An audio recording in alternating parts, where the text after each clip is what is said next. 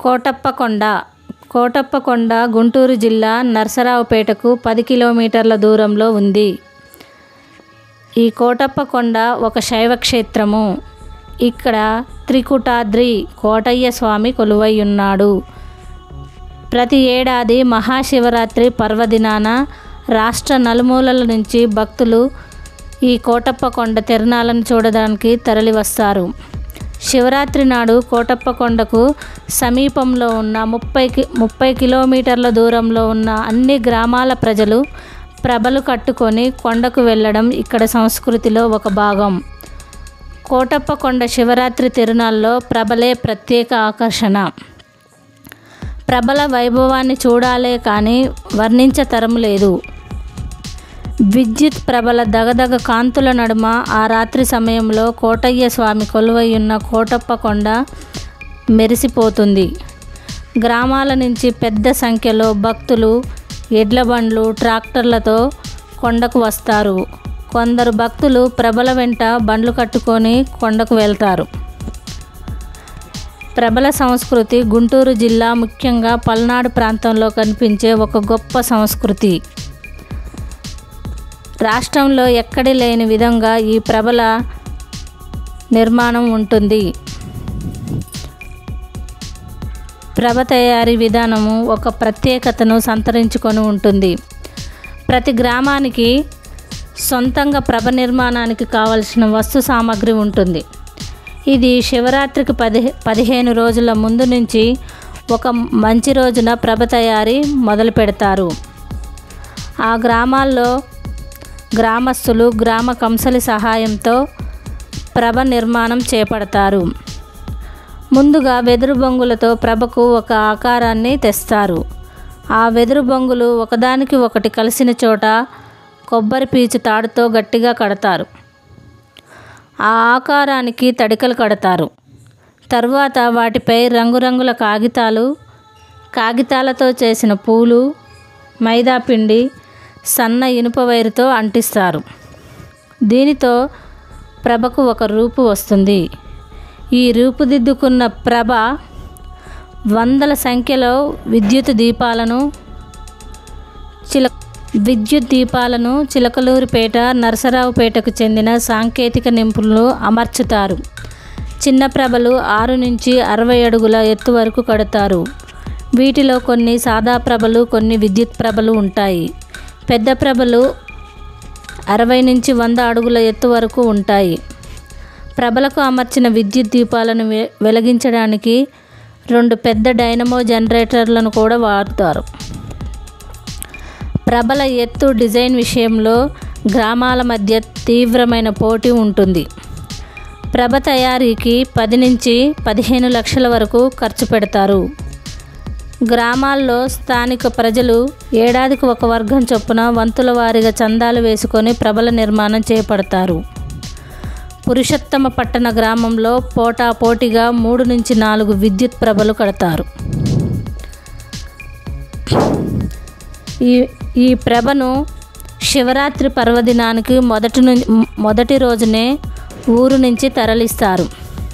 ముందుగా ప్రభను రాతి చక్రాలతో కూడిన చెక్క రథంపై ఉంచుతారు. ఆ రథాన్ని ముందుగా సాంప్రదాయబద్ధంగా కోడగి కోడగిత్తలు ద్వారా లాగిస్తారు.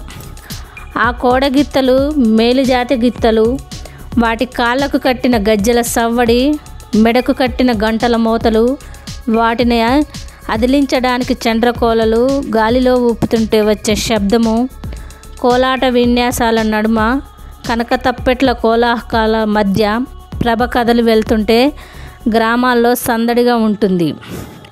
అయితే ఒక ప్రభను త- తరలించడానికి రథానికి యాభై నుంచి వంద జతల గిత్తలను కట్టి రథాన్ని లాగిస్తారు.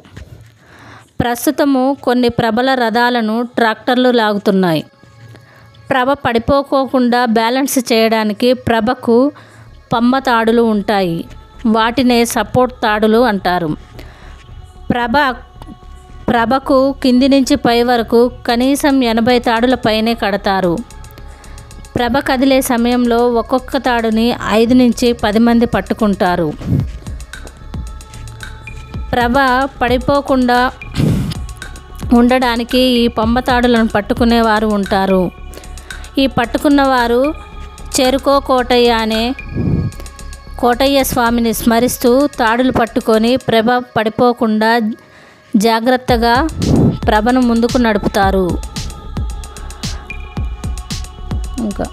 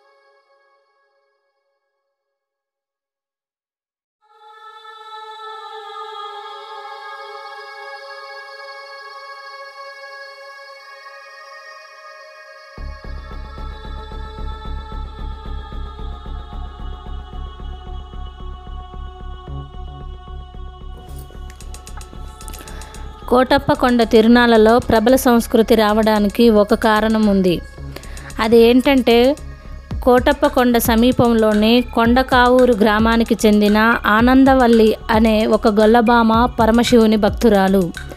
ఆమె ప్రతిరోజు కొండపై చేరుకొని పాతకోటయ్య స్వామికి పూజలు చేసేది. ఒకనాడు తన వయోభారంతో కొండ ఎక్కలేకపోతున్నాను స్వామి అని వేడుకోగా కోటయ్య స్వామి ప్రత్యక్షమై ముందు నువ్వు వెనుజోడకుండా కిందికి నడువు. నీ వెనుక నేను వస్తానని చెప్పాడు. గొల్లబామ కిందికి దిగుతూ స్వామి వెనుక వస్తున్నారో లేదో అని వెనుదిరుగు చూడటంతో స్వామి శిలగా మారాడు. దీంతో గొల్లబామ తిరిగి ఆ స్వామిని వేడుకోగా. కొండకు కోటిన్నొక్క ప్రభలు వస్తే అప్పుడు కొండ దిగి కిందికి వస్తానని చెప్పాడు కోటయ్య స్వామి. అందువల్ల ప్రతి సంవత్సరం శివరాత్రి నాడు కోటప్పకొండ సమీపంలోని అన్ని గ్రామాల వారు ప్రభలు విద్యుత్ ప్రభలు కట్టుకొని కోటప్ప కొండకు వస్తారు.